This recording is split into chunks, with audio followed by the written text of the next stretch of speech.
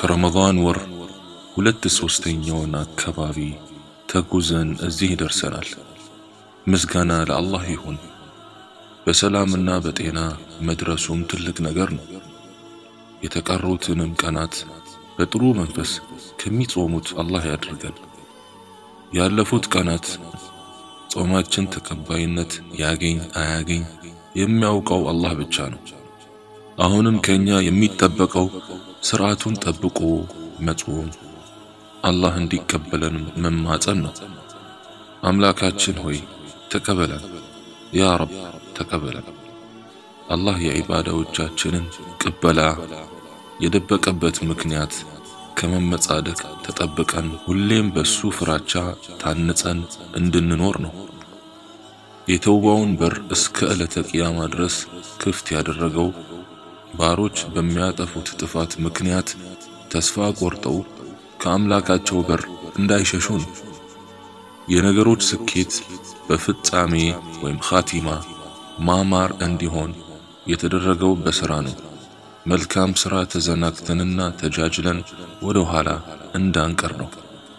ወዳጆቼ በዐሽሩል አዋኺር ወይም አስር የመጨረሻዎቹ ወሳኝ የረመዳን ቀናት በር ላይ እንገኛለን። እስኪ በእስከ ዛሬው ረመዳናችን ምን ተጠቀምን? ምንስ አተረፍን?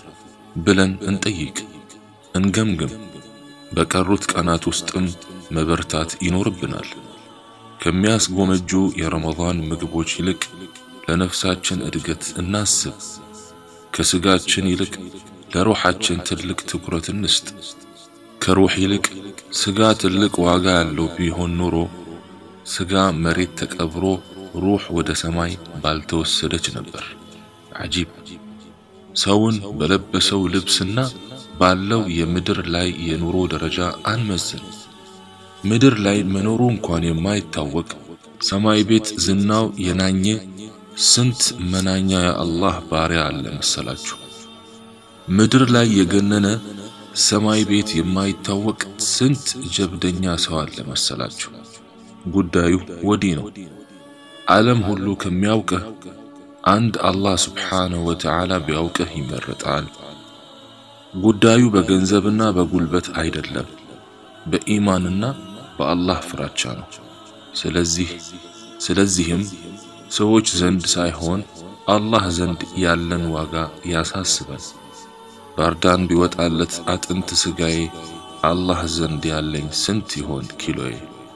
አላህ ይቀበለን።